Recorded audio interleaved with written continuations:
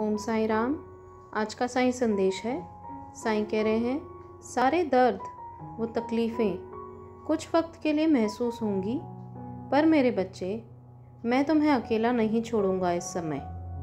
वक्त के साथ साथ पुराने ज़ख्मों को भूल जाओगे तुम, और ये सब तकलीफ़ें भी चली जाएँगी फिर तुम्हारे बीते हुए कल में ही।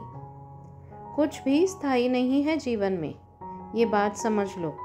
तो तुम्हारी परेशानियाँ भी स्थायी नहीं हैं। इसलिए निश्चिंत रहो। जो है, उनकी परवाह करो। और जो जाना चाहते हैं या जा चुके हैं, उनको जाने दो।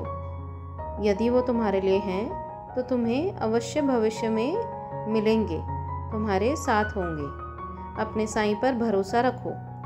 मैं जानता हूँ, कौन तुम्हारे लिए है और कौन सही नहीं है। तुम्हारा जीवन तुम्हारी सोच पर निर्भर करता है।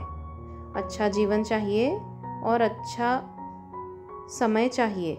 तो अच्छा ही सोचो और अच्छा ही करो। अपने कर्मों को हमेशा अच्छा रखना। हमेशा खुश रहो। मेरा आशीर्वाद है तुम्हारे साथ। मैं तुम्हें बहुत स्ट्रेंथ दे रहा हूँ अपने इस समय से बाहर निकलने की। इसीलिए निश्चिंत रहो। मैं हूँ तुम्हारे साथ। हमेशा खुश रहो। तो ये था आज का साई संदेश। कल दोबारा आऊँगी। ओम साई राम।